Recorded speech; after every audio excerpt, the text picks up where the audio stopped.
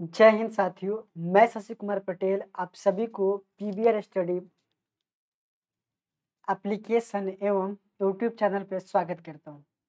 तो साथियों, आज की इस क्लास में लेक्चर नंबर फाइव है आपका। ये लेक्चर नंबर फाइव है, ठीक है? दिख रहा है ना? आज हम लोग नाउन की शुरुआती करेंगे, बहुत बेसिक से लेकर के चलेंगे जहाँ पे आपको पेशेंस बना कर रखना है और नाउन में आप इस वीडियो को देखने के बाद नाउन में कभी भी कन्फ्यूज़न नाम का जो शब्द होता है ना, एक वर्ड आता है बच्चे के माइंड में कन्फ्यूज़न वो कभी नहीं आएगा। इतनी बेहतर तरीके, इतने अच्छी तरीके से सीखोगे, फिर नाउन में कभी दिक्कत नहीं आएगा। आप मुझे बता दो साथियों, बहुत सारे बच्चे, अच्छी बात है, ये पेड कोर्स की क्लासेस है, सबको जानते हैं। मुझे ये बताओ कि जो नाउन होता है नाउन किसे बोलते हो? एक्चुअली जो आप पढ़ते हो, नाउन। नाउन एक्चुअल में होता क्या है? मन में आपको क्वेश्चन आना चाहिए। एक्चुअली नाउन है क्या? बहुत सारे बच्चे कहते हैं, sir, noun is the naming word, noun is the name of person, place, something. Actually वो नाउन होता क्या है? हम जानना ये चाहते हैं। बताओ। चलो, मैं बताने की स्टार्टिंग करता हूँ। नाउन के सिलसिले को जानते हैं, एकदम बारीकी से। देखो, ये जो नाउन है ना आपका एक लैटिन वर्ड, लैटिन समझते हो ना? लैटिन शब्द हिंदी में लिख दिया नोमेन N O M E N Latin शब्द नोमेन से लिया गया है। जो नाउन है ना, नाउन, ये नोमेन से लिया गया है। नोमेन से ड्राइव किया गया है। जिस नोमेन का मतलब होता है name N A M E ये पता है ना, नेम का हिंदी क्या होता है? मुझे बता दो। नेम का हिंदी होता है नाम, यानी कि नामकरण। तो कहीं ना कहीं अपने आप में जो नाउन है, ये अपने आप में शो कर रहा है कि किसी चीज़ को नाम को बतलाएगा। इसके जब हमने इसकी क्राइटेरिया को तोड़ने की कोशिश किया तो हमें पता चला कि नहीं एक्चुअल में जो नाउन है ना, किसी न किसी चीज़ को नाम को रिप्रेजेंट कर रहा है। धरती पे एक बात याद रखना, धरती पे या कहीं भी, जहाँ तक आपकी सोच जाती है, वहाँ पे जो भी चीज़ें होंगी, जो कुछ भी आप देखते होगे, सुनते होगे at least ninety nine percent case में वो नाउन ही होते हैं। जैसे मेरे हाथ में ये मार्कर है, मैंने इसके बारे में सोचा इमेजिन किया। जो कुछ भी सोचते हो और उसका कुछ नाम होगा, वो नाउन होगा। सोचने से नहीं हुआ, सोचते हो उसका नाम कुछ होगा, वो नाउन होगा, जैसे सपना। तो सपना माइंड में ख्याल आया, लेकिन उसका नाम क्या है? सपना। तो वो क्या? नाउन है। जैसे हम लोग कहते हैं दौड़ना स्वास्थ्य के लिए अच्छा होता है। जैसे टहलना स्वास्थ्य के लिए अच्छा होता है, ठीक है? तो टहलना, हर्ब का नाम है एक्शन का नाम है टहलना तो वो भी क्या होगा? नाउन होगा। अब बहुत सारे, देखो इसके एग्ज़ाम्पल समझो। मुँह से तो बोलने से समझ नहीं पाओगे ना? जैसे देखो, जैसे मैंने लिखा टू वॉक हाँ? To walk is to walk is a good exercise आप सभी को पता है, बहुत अच्छी तरीके से पता है वॉक आपका वर्ब होता है। लेकिन अभी जो ये रोल कैसे निभा रहा है, अभी ये फ़ंक्शन कैसे कर रहा है? नाउन क्या कर रहा है। जैसे देखो, बहुत प्यार से समझना, बारीकी से समझना, ये मौका फिर कभी ज़िंदगी में नहीं आएगा सीखने की इतनी अच्छी तरीके से। जैसे मैं अभी यहाँ पे हूँ एज ए टीचर का रोल निभा रहा हूँ। मैं एक आदमी हूँ ना, मैं एक आदमी हूँ, आपके सामने दिखाई दे रहा हूँ ना, मैं भी एक ह्यूमन हूँ बट अभी रोल कैसा निभा रहा हूँ? टीचर का। जैसे ही मैं जाऊँगा घर पे, चाहे रूम पे हाँ फिर वहाँ पे हमारे साथ में कोई ना कोई वेट होगा, जैसे मेरे अब भाई होंगे, बहन होंगे तो वहाँ पे कैसा रोल निभा रहा हूँ? एज ए ब्रोदर का। जैसे ही मैं आप कहीं दोस्त को साथ चला गया, जैसे मेरे रामू, श्यामू, कोई भी फ्रेंड है मेरा, जैसे अखिलेश उखलेश कोई भी फ्रेंड है, उनके साथ चला गया, ठीक है? तो जब मैं उनके साथ जाऊँगा तो वहाँ पर मैं टीचर नहीं हूँ। वहाँ पर मैं टीचर नहीं हूँ, एज ए फ्रेंड एक्ट करूँगा। तो कहने का मतलब ये है कि मुखौटा एक ही रहता है, शब्द एक ही रहता है, लेकिन उसके फ़ंक्शन के आधार पे हम जज करते हैं कि वो है क्या।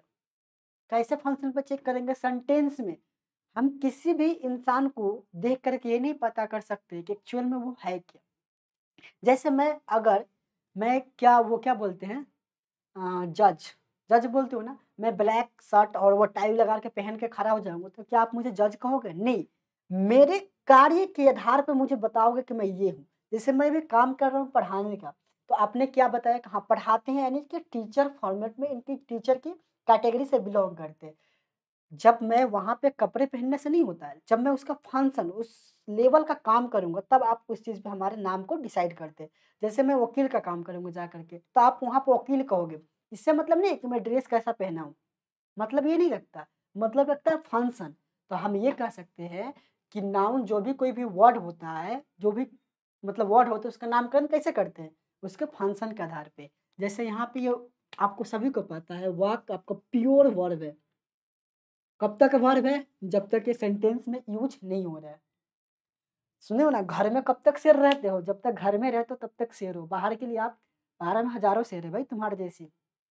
तो वही बात है, ये कब तक वर्ब है? जब तक कि घर में है, यानी कि अकेले फॉर्मेट में यूज़ हो रहा है।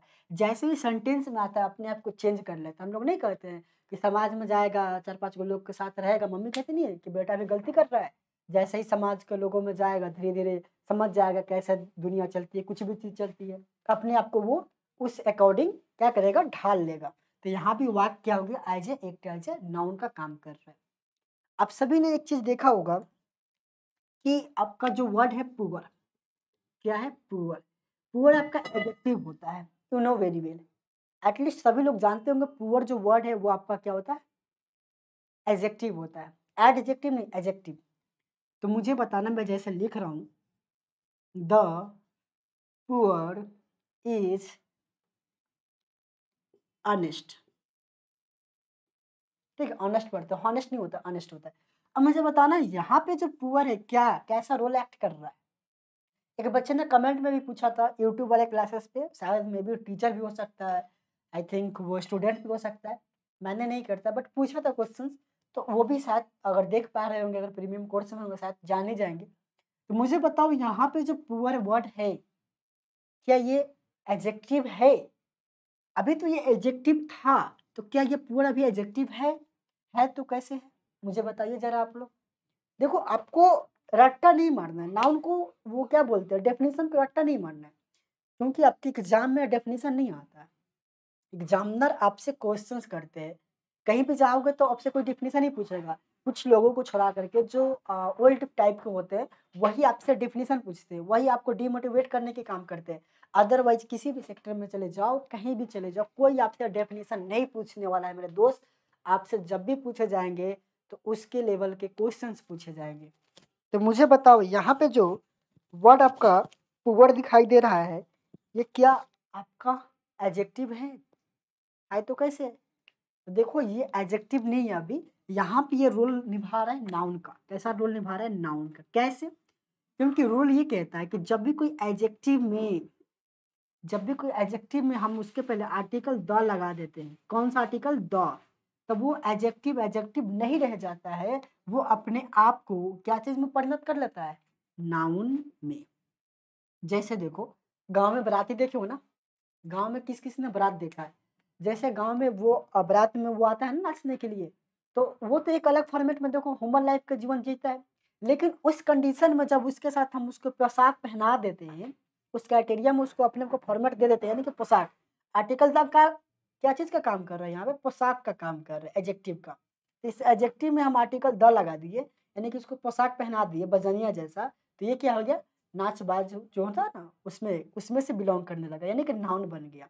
तो ये चीज़ आपको समझना होगा कि कब कैसे बदलता है, कैसे फ़ंक्शन काम करता है, तब जाके आप अच्छे कर पाओगे इंग्लिश में। अदरवाइज़ रट्टा तो ज़िंदगी भर मारते ही रह जाओगे, कुछ नहीं वाला।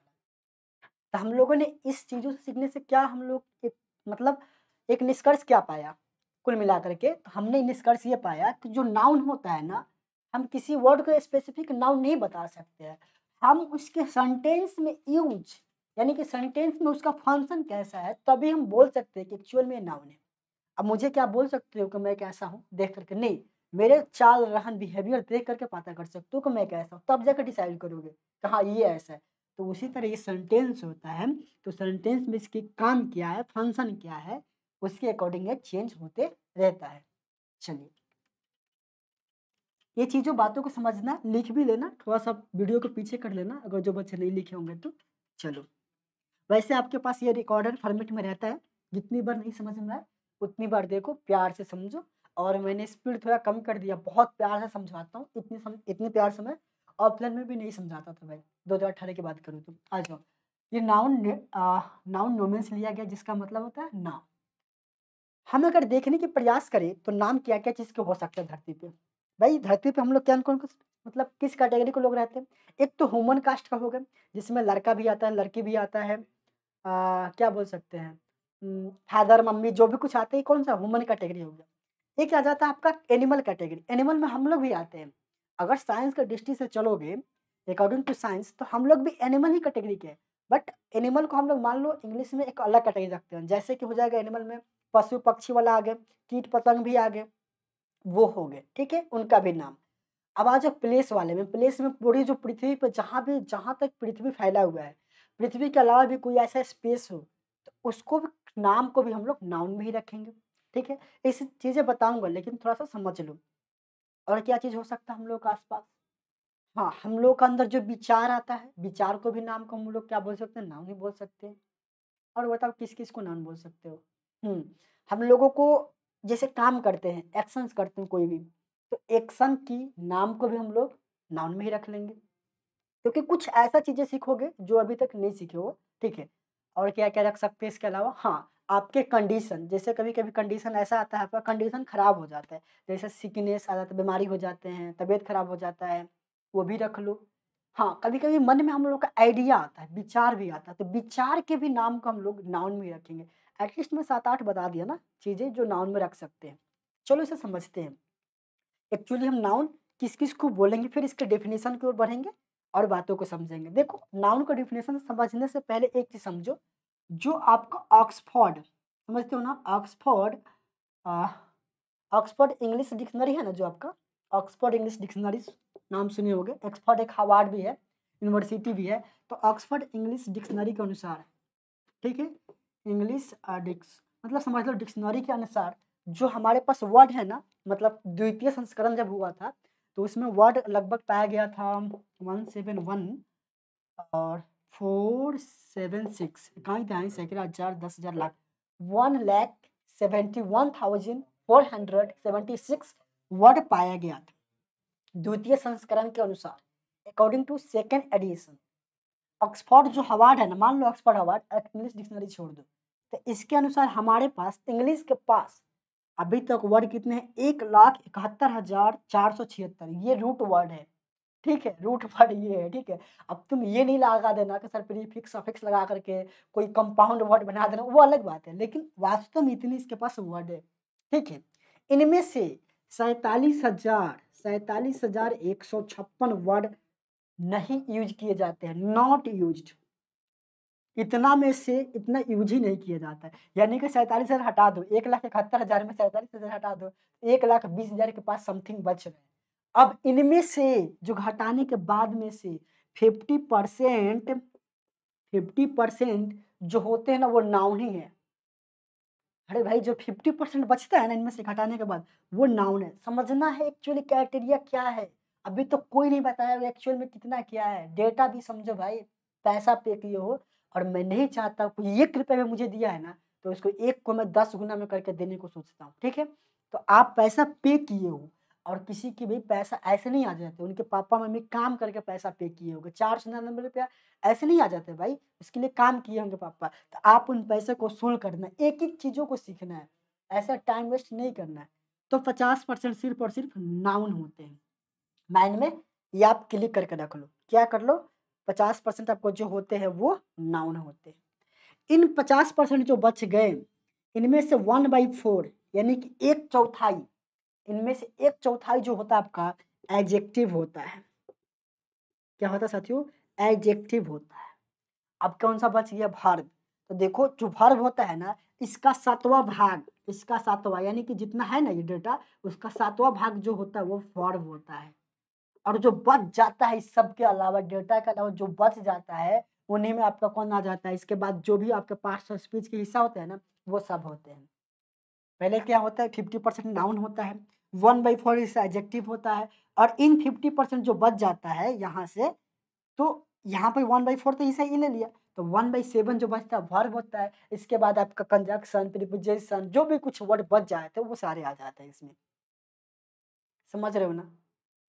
समझ में आ रही है ना मैं क्या बतला रहा हूँ? कि फिफ्टी परसेंट नाउन होते हैं one by four adjective fifty percent में से वन बाई सेवन ही सब वर्ब और उसके अलावा जो बच जाते हैं वो सभी के सभी क्या होते हैं? बाकी पार्ट्स ऑफ़ स्पीच होते हैं। एक डेटा याद रखना, कभी भी फ्यूचर में आप कोचिंग पढ़ाओगे ना, कोई बच्चा अगर डेटा पूछ दे देना बहुत बेकार होता है। डेटा पता होना चाहिए आपको, ठीक है?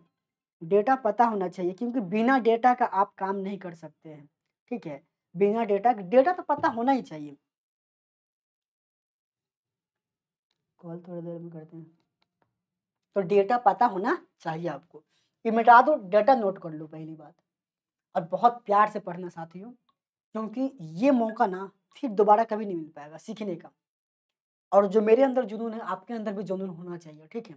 देखो, अंग्रेज़ी बोलना बहुत आसान है, क्योंकि हिंदी बोलने के लिए आज तक हम कहीं सीखने के लिए गए नहीं है। लेकिन जब क्वेश्चनिंग सॉल्व करने की बात आती है ना साथियों, बहुत टफ होती है।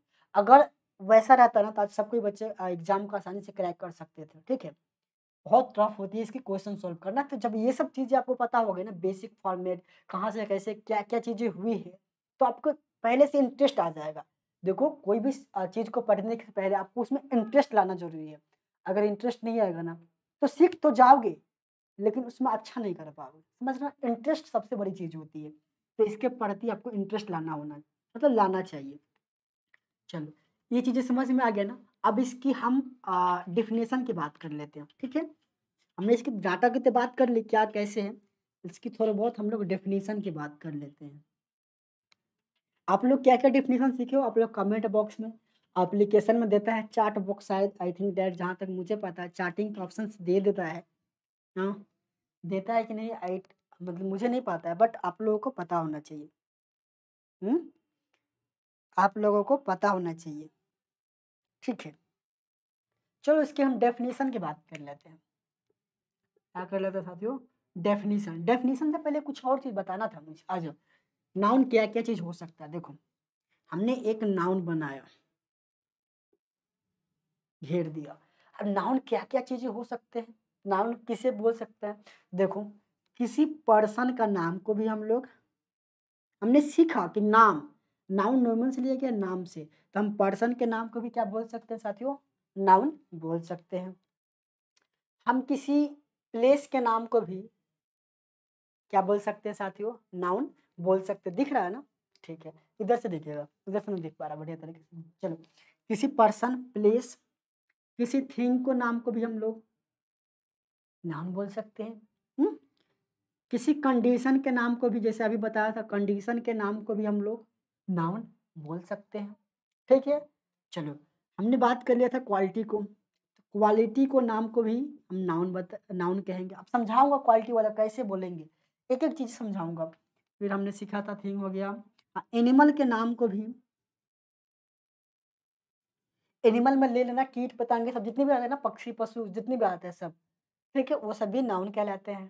थिंग में आपका फल, फ्रूट सब आ जाते हैं, ठीक है, सारे कैटेगरी आ जाते हैं। कंडीशन हो गया, प्लेस हो गया, क्वालिटी हो गया, बच कौन सा रहा दो, चार छः हाँ एक आइडिया बच गया था। आइडिया को भी नाम को हम लोग क्या बोलेंगे? नाउन ही बोलेंगे। हाँ एक एक्शन एक्शन वाला देखा था ना टू वॉक वाला?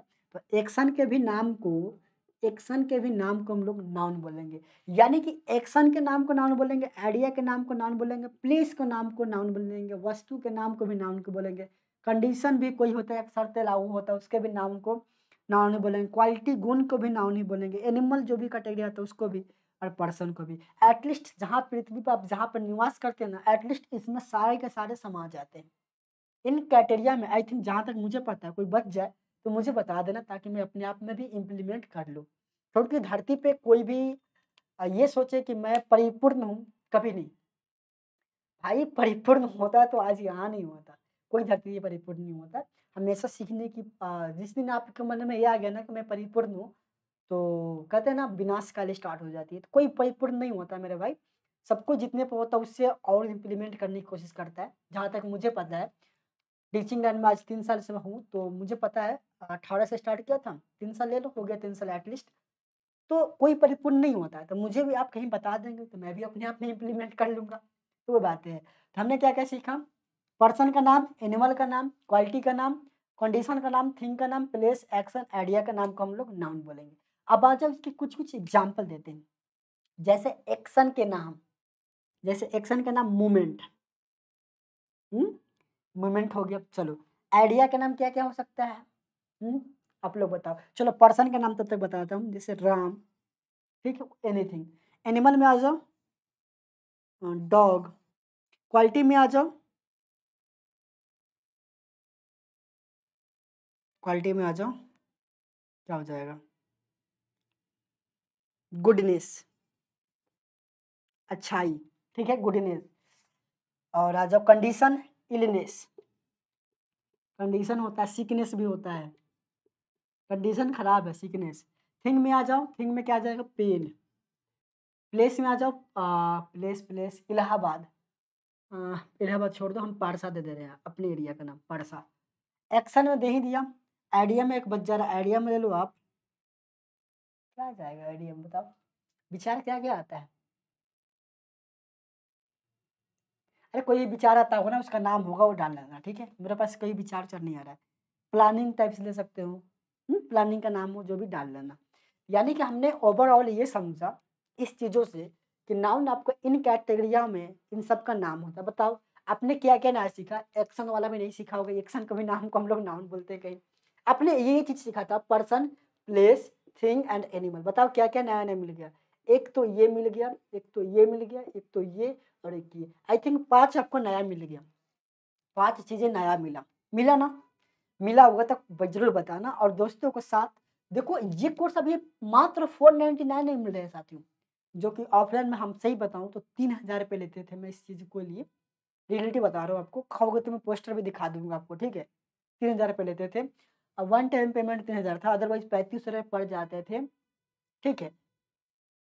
बस सिखा करके बेचते थे हम लोग, कोई भी चीज़ें थी।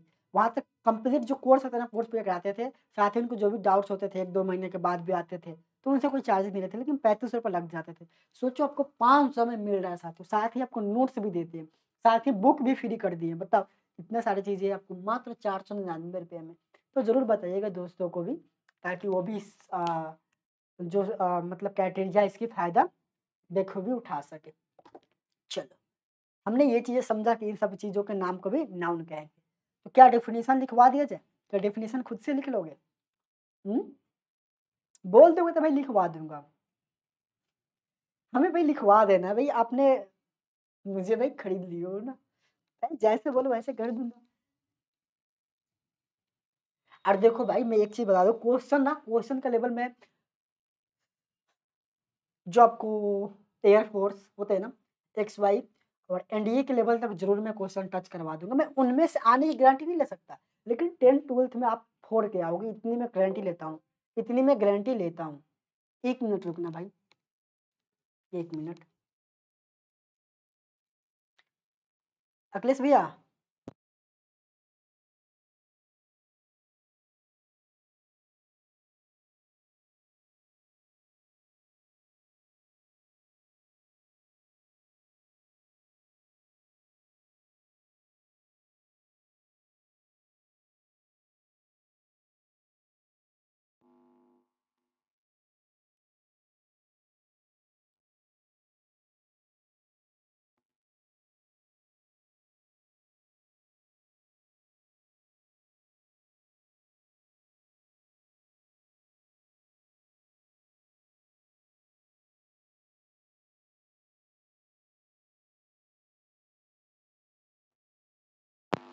तो दोस्तों थोड़ा सा टेक्निकल इशू हुआ था, कोई नहीं, वो ठीक हो गया।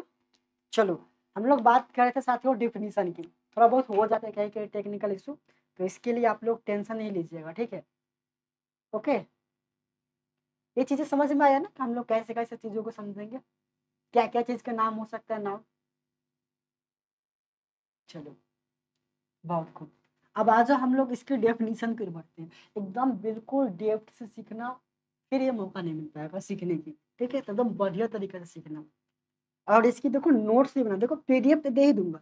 लेकिन देखो जो अपने नोट्स होती है ना, दुनिया के सबसे बेस्ट नोट्स होती है। हमारी नोट्स देखो ना दस पंद्रह नोट्स पड़े रहते हैं घर हमेशा। मैं मैं हमेशा कुछ नया नया सीखने की कोशिश करता हूँ, हमेशा कुछ ना कुछ नया। क्या नया हो सकता है? सही बताता हूँ आपको।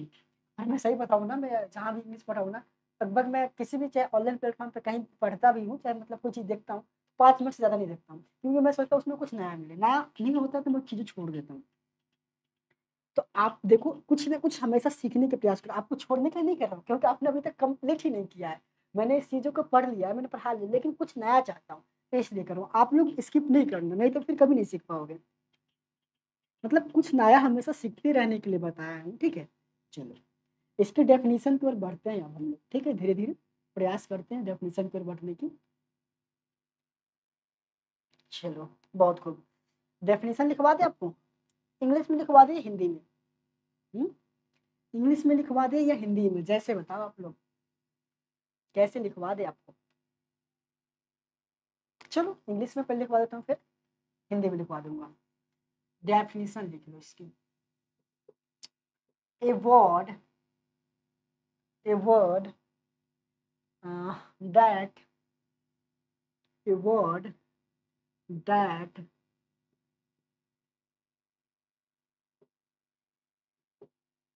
indicate या represent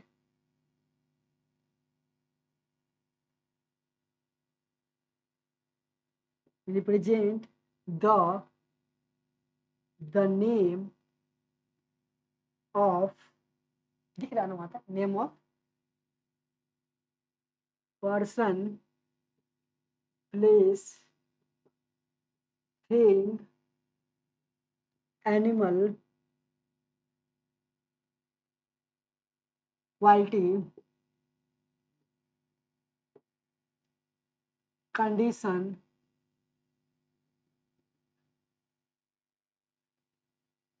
condition action idea and something. कोई और चीज़ छूट जाता है तो समथिंग में तो लिख दोगे।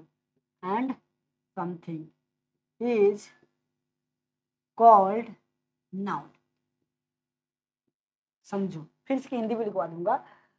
एक ऐसा वर्ड जो किसी व्यक्ति का नाम, किसी स्थान का नाम, किसी जानवर का नाम, किसी गुण का नाम, किसी कंडीशन का नाम, किसी कार्य का नाम, किसी आइडिया का नाम एक्शन मतलब कार्य होता है, ठीक है?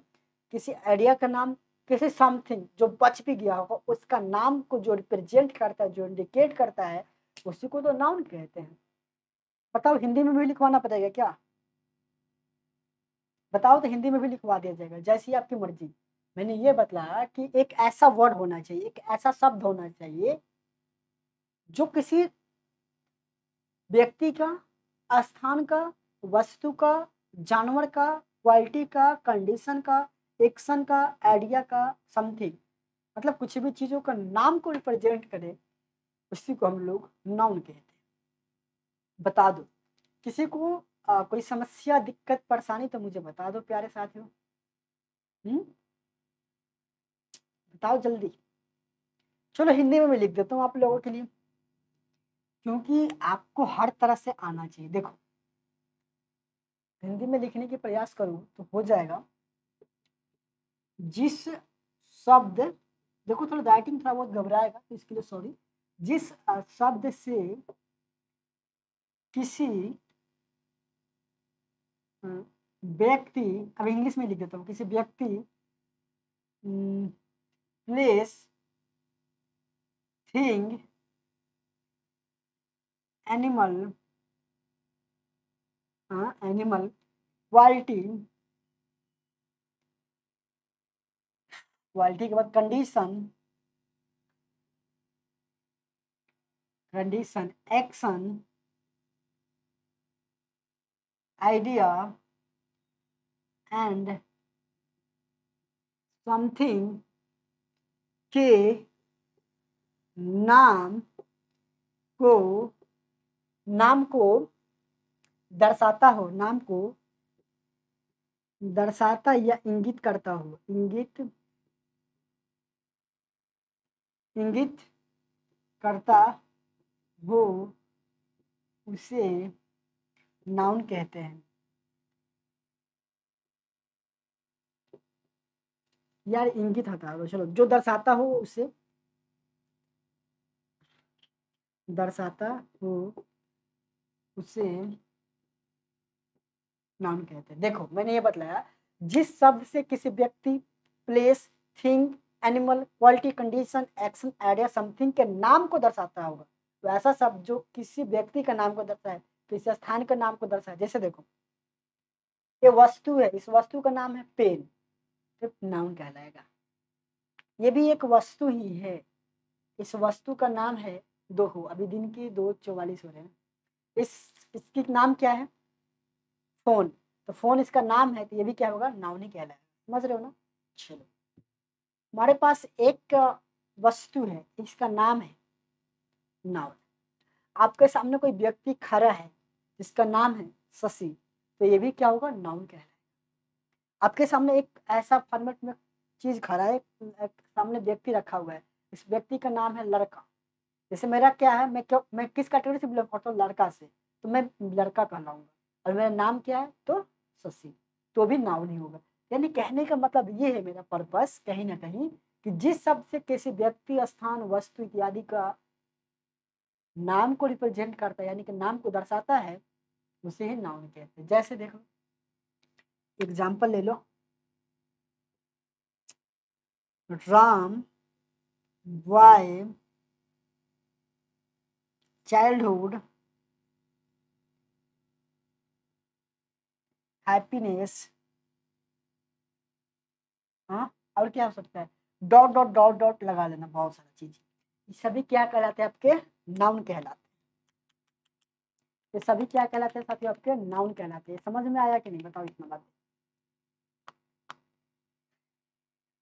चीज़ें समझ में आया कि नहीं? अभी बहुत सारा चीज़ कराऊँगा भाई इसमें।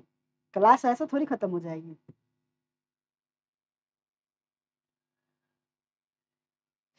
चलो, ये चीज़ें समझ में आया ना? नाउन का डेफिनेशन लिख लो बाबू, जल्दी से, मैं हट गया चाहो तो स्क्रीन भी मार सकते हो। जल्दी फटाक से मारो। कर लिए?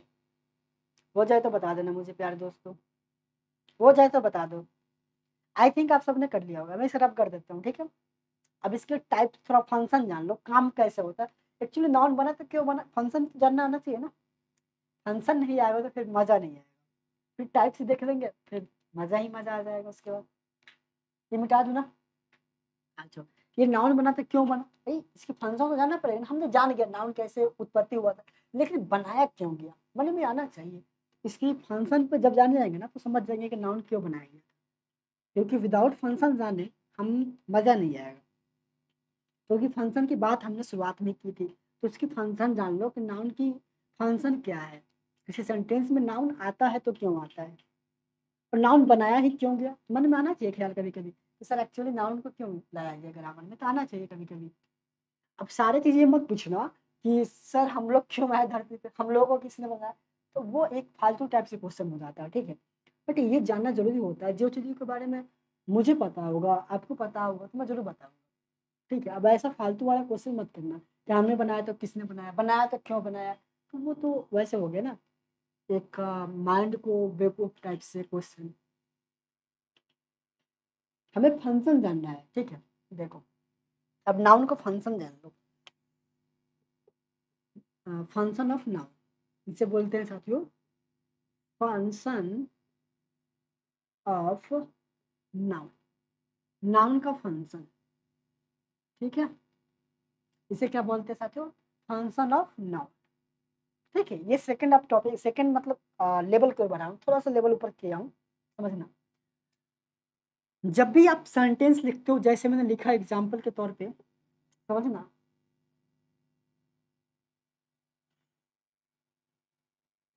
Shashi is a good boy ठीक है?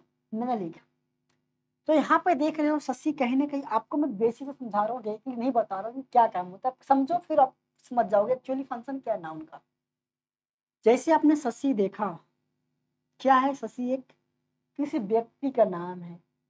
तो क्या है साथियों नाउन है। समझना प्यार से।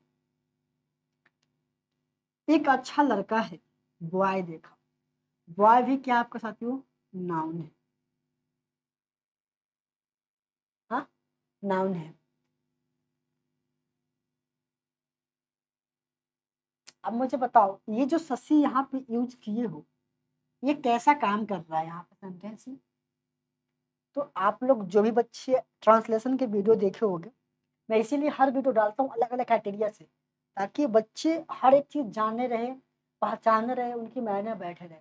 तो मैंने ट्रांसलेशन वाले वीडियो में बताया था यूट्यूब पर जो वीडियो है, कि जो पहला वर्ड ही होता है जो सेंटेंस का, अगर अफर्मेटिव में है, यानी कि सिंपल वे में है जो पहला लेटर जो पहला वर्ड होता है वही क्या होता है? सब्जेक्ट होता है। यहाँ पे आपका क्या है? सब्जेक्ट है। अरे नहीं आ रहा तो हु लगाओ ना वर्ड में। कौन अच्छा लड़का है? सस्सी। इसका आंसर आ रहा है सस्सी। तो नाउन हो जाएगा सिंपल सी बात है। सॉरी सब्जेक्ट हो जाएगा। तो यहाँ पे सस्सी जो नाउन था, ये कैसा काम कर रहा है यहाँ पे? एज ए सब्जेक्ट का काम कर रहा है। प्यार से समझना। फिर चीज़ों का हम एलिब्रेट करेंगे धीरे धीरे यहाँ पे आ जाओ। मैंने पूछा कि शशि क्या अच्छा है? क्या अच्छा है? तो लड़का अच्छा है। इसका वर्ड के आंसर आ रहा है बॉय ये आपका क्या हो जाएगा साथियों? ऑब्जेक्ट अगर ये पूछता शशि कैसा लड़का है? तो अच्छा तो वो एजेक्टिव होता है। तो यहाँ पे गुड क्या एजेक्टिव है? इससे हमको कोई मतलब नहीं है। हमें सिर्फ़ नाउन वाला से मतलब है, क्योंकि नाउन चैप्टर पढ़ रहे हैं। जब इसके दूसरे चैप्टर पढ़ेंगे तो फिर दूसरे वाले चैप्टर से मतलब रखेंगे। आपको भोज में शादी पत्थल पे अगर पूरी पूरी के अगर गए होगे, शादी उदी में तो वहाँ पर शाकाहारी होगा। तो मांसाहारी की बात करोगे? नहीं ना करोगे? वैसे यहाँ पे। तो हम लोग नाउन चैप्टर पढ़े तो नाउन के कैटेरिया की बात करेंगे तो बेहतर है। हमने पहले ये समझा कि यहाँ पे एक नाउन था। ये रोल आज कैसा रोल कर रहा है? सब्जेक्ट का। हमने फिर देखा कि यहाँ पे एक और नाउन है, जो रोल कर रहा है ऑब्जेक्ट का। किन किन को पता नहीं है कि सब्जेक्ट क्या होता है ऑब्जेक्ट क्या होता है। देखो यूट्यूब पे चले जाना प्लेलिस्ट बना होगा। इंग्लिश बाई शशि पटेल से ठीक है? तो वहाँ पे देखना ऑब्जेक्ट चार नंबर लेक्चर है, तीसरे नंबर लेक्चर है, बताया गया सब्जेक्ट ऑब्जेक्ट कैसे पहचानते हैं ठीक है? अगर वो भी नहीं आया तो इस जो पेड कोर्स में अभी देख लो। सेकेंड नंबर लेक्चर या ऐसे ही तो वहाँ पर बताया गया था सेंटेंस का फॉर्मेट तो वहाँ भी समझ में आना चाहिए आपको। वहाँ बताए थे बहुत बार मतलब अच्छे तरीके से। तो हमने है कि यहाँ पे जो नाउन है, ये अभी सब्जेक्ट है। यहाँ पे एक बार नाउन ऑब्जेक्ट है। एक और सेंटेंस लेते हैं, थोड़ा और अच्छा लगे आपको। दूसरा नंबर एग्ज़ाम्पल लिया। He he goes to school every day ये ही किसके लिए आया? शशि के लिए आया है ही ठीक है? क्योंकि हम लोग रिपीटेशन नाउन के रिपीटेशन को स्टॉप करने के लिए, इनके जब हम लोग बार बार नाउन को नहीं बोले, उसी के लिए तो प्रणाम लाया लाएगा तो इससे हमको मतलब नहीं है। मतलब हम लोग फिर देखते हैं यहाँ पे एक स्कूल आपका यहाँ पे नाउन है। स्कूल क्या है? नाउन है। किसी किसी क्या है? किसी प्लेस का ये नाम है। जैसे देखो कोई एक फॉर्मेट होता है, घर टाइप से बना हुआ, आसपास अब बाउंड्री लगा होता है तो उसे हम क्या बोलते हैं? स्कूल। ये क्या है? नाउन है। अब देखो इस नाउन सेंटेंस में काम कैसा कर रहा है? जैसे मैं लगाऊँगा, क्या क्या जाता है? नहीं। अगर मैं यहाँ पे वेयर लगाता हूँ वेयर कहाँ जाता है? यानी कि वट के आंसर नहीं आ रहा वेयर के आंसर आ रहा है। जब वेयर के आंसर आता है तो वो क्या होता है? कॉम्प्लीमेंट होता है। यहाँ पे स्कूल क्या है? एज ए कॉम्प्लीमेंट का काम कर अब एल आई मत कर देना। एल आई का मतलब होता है कॉम्प्लीमेंट वो वाला दूसरा होता है। ये कॉम्प्लीमेंट का अलग मतलब है, ठीक है? हमने ये फाइंड किया। हमने सेंटेंस दो सेंटेंस ये निष्कर्ष निकला कि एक बार जो नाउन था तो वही एक बार सब्जेक्ट की तरह आया था। एक बार जो नाउन हमने देखा सेंटेंस में, वो ऑब्जेक्ट की तरह आया था। एक बार हमने फिर सेंटेंस में देखा तो जो ये नाउन है, ये कम्प्लीमेंट की तरह आया था एक्चुअली सर लोचक क्या है, हम जानना चाहते हैं। तो देखो साथियों, यही सब तो थे जो नाउन के बनवाए। अदरवाइज़ नाउन का कोई रोल नहीं था यहाँ पर ग्रामर में। कोई खोज ही नहीं था। समझ रहे हो ना? अगर दुल्हा में, अगर शादी में दुल्हा ही ना रहे तो फिर शादी होगा?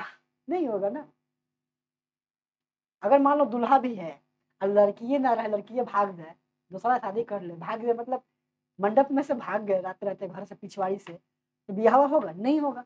उसी तरह यहाँ पे है सेंटेंस में अगर नाउन नहीं है ना, देखो तो ज़्यादातर नाउन का ही खेला है इसमें। हमने शुरुआत टर्म में भी बताया था कि जो आपके इंग्लिश ग्रामर है, जो इंग्लिश है आपका, उसमें फिफ्टी परसेंट जो रोल निभाता है, वो नाउन ही निभाता है। समझ रहे हो ना? वो नाउन ही निभाता है। ज़्यादातर नाउन ही आएँगे आपको। समझ रहे हो ना? मैं क्या बतलाना चाह रहा हूँ? तो एक बार नाउन सब्जेक्ट का काम किया, एक बार ऑब्जेक्ट का काम किया, एक बार कॉम्प्लीमेंट का काम किया। तो हम कहीं ना कहीं समझ पा रहे हैं कि नाउन एक काम नहीं करता है। उसके तीन काम है। एक तो सब्जेक्ट का जैसा, एक तो ऑब्जेक्ट का जैसा, एक कम्प्लीमेंट का जैसा। और सेंटेंस का स्ट्रक्चर तो यही तो होता है सेंटेंस का स्ट्रक्चर सब्जेक्ट होता है, देखना प्यार से।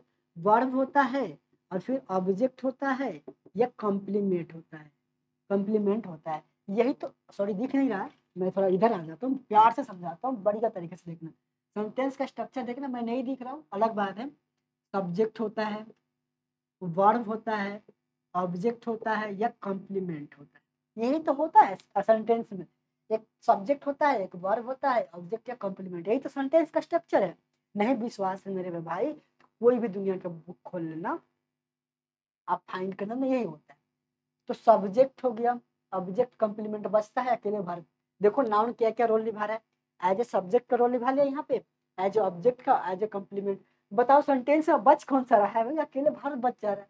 यानी कहने का मतलब ये है कि नाउन छोटा मोटा नहीं है। बहुत बड़ा किरदार निभाता है। इसलिए नाउन को ग्रामर में लाया गया। देखिए सब्जेक्ट का भी काम कर लेता है बेचारा।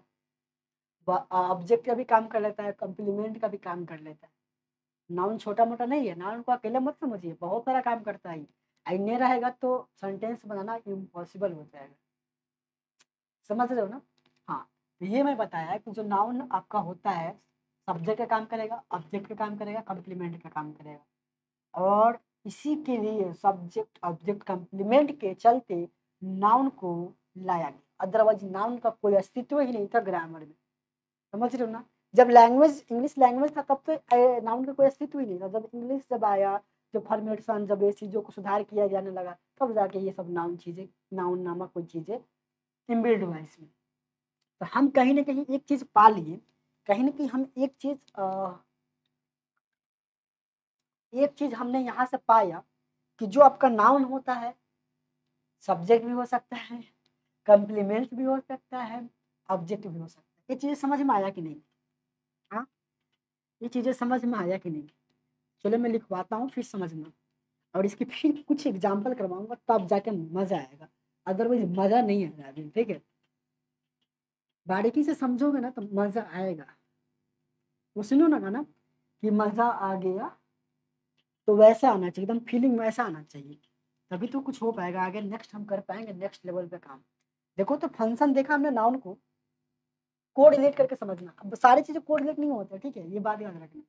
नहीं तो नेक्स्ट क्लास में कहोगे सर मुझे कोऑर्डिनेट करके दिखाओ। हमने पाया कि नाउन जो होता है एज ए सब्जेक्ट का काम करता है।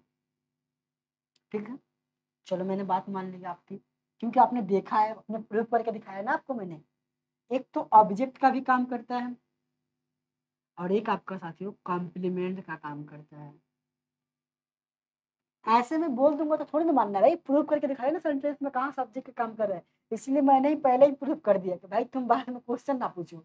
मन में किसी का डाउट नहीं रहना चाहिए। हमने सीखा सब्जेक्ट भी हो सकता है ऑब्जेक्ट भी हो सकता है कंप्लीमेंट भी हो सकता है। किस किस को समझ में आ गया किस किस को नहीं आया, पहले बता दो। चलो मैं कुछ क्वेश्चंस दे रहा हूँ। आप उसको बताओ कि वो वहाँ पे सब्जेक्ट है कि क्या है, कैसा है, आप लोग बताओगे चलो, मैंने जैसे एक एग्जांपल लिखा, बहुत प्यारा सा एग्जांपल बार बार सुनते हो। आई एट ए मैंग ठीक है? यहाँ पे जो मैंगो वर्ड है मुझे बताओ, ये क्या कर रहा है? ये मुझे पता है कि कॉमन नाउन है अभी सब नहीं पढ़ाया आपको आपको सिर्फ़ बताओ फ़ंक्शन क्या कर रहा है? मैं नहीं, देखिए एग्ज़ाम में नहीं पूछता कौन कॉमन नाउन है कौन कलेक्टिव है। एग्ज़ाम में फ़ंक्शन चेक करता है। और फ़ंक्शन के आधार पर उसके अगले स्टेप को आप सुधार सकते हो। फ़ंक्शन ही नहीं पता हो तो क्या कर लोगे? कुछ नहीं कर पाओगे। तो बताओ, यहाँ पे जो मैंगो है, हम नहीं पूछना चाहते कि इसका टाइप्स क्या है। आप बताओ, ये फ़ंक्शन कैसा करता है? काम इस क्या कर रहा है एक्चुअल में? ये जल्दी से बता दो साथियों। बहुत खूब चलो, आपने अच्छे, अपने लेवल पर अच्छे अच्छे तरीके से ट्राई किए होगे। देखो। एट में क्या करोगे? क्वेश्चन लगाओगे? क्या खाता है? क्या मतलब जैसे पूछोगे, मैं क्या खाता हूँ? मैं क्या खाता हूँ? तो आम वट का आंसर आ रहा है, यानी कि वट का आंसर आ रहा है तो ये मैंगो क्या हो जाएगा साथियों? ऑब्जेक्ट हो जाएगा। ये चीज़ें सब बताया था मैंने कि ऑब्जेक्ट कैसे फाइंड करना है कैसे समझेंगे कि ऑब्जेक्ट होता है, कैसे समझेंगे कम्प्लीमेंट होता है। एक एक चीज़ें सिखाया था आपको। ठीक है?